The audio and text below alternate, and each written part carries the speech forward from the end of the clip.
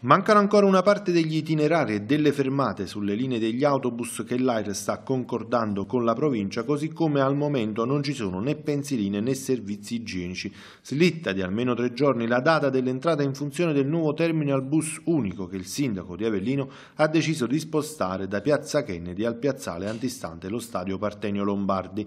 Rispetto al termine fissato in precedenza per lunedì 3, infatti si passa a giovedì 6 febbraio, salvo diverse indicazioni indicazione per modifiche in corso. Il nuovo programma di esercizio dei mezzi che ha subito un incremento del chilometraggio per il trasferimento del capolinea dovrebbe essere completato tra pochi giorni. Dai tragitti rimodulati manca circa il 30% dei volumi delle corse. A seguire saranno effettuate le ultime verifiche e solo dopo l'azienda Trasporti Irpini si prenderà un paio di giorni per una capillare quando rapida campagna di informazione per gli utenti.